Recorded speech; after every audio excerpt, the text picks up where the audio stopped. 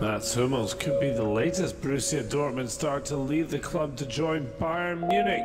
The club's official website said the German World Cup winner wants to move to the Bundesliga champions. Kurz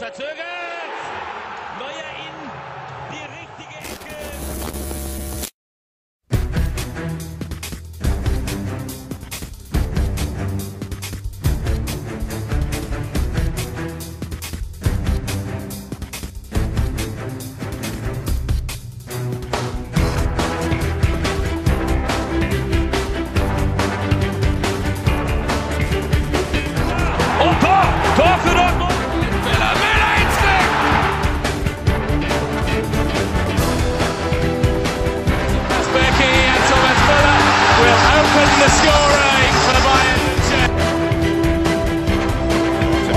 deuxième poteau. Oh, quelle merveille. Quelle merveille